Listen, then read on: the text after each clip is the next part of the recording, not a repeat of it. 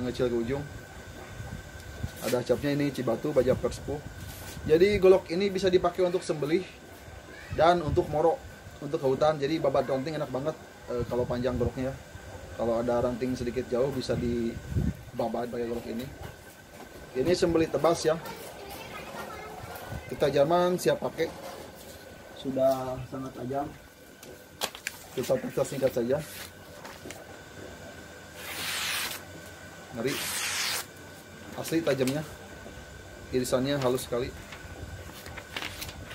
Outdoor ya ini. Banyak angin jadi kertasnya nggak mau diam.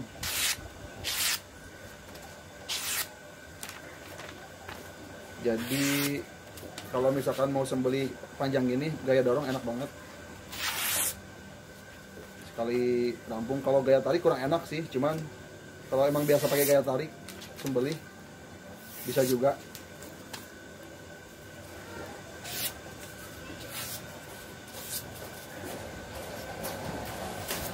oke.